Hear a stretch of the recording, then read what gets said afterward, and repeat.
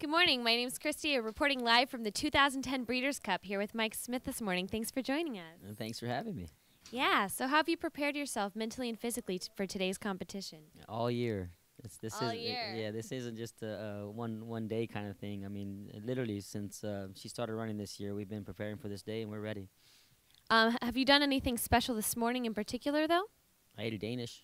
You ate a Danish. Okay, that's good preparation. Um, do you have any traditions that you do with Zenyatta before you hit the tracks? Not necessarily. I'm I'm I'm a religious man. You know, I got down on my hands and knees this morning, and said my prayers, and uh, now it's up to up to the rest. You know, if it's meant to be, it'll happen.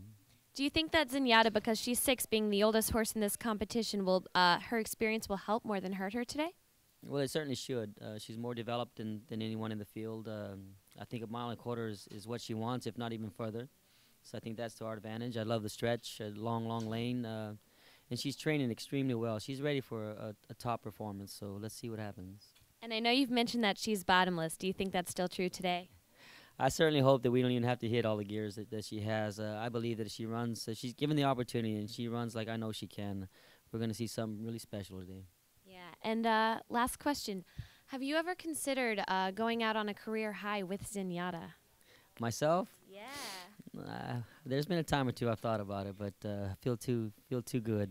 Uh, I'm too strong right now. I'm I'm probably fitter than I've ever been, and I want to I want five more years at least. Honestly, Zenyatta's going to do it for all the fans. Uh, this race is for them.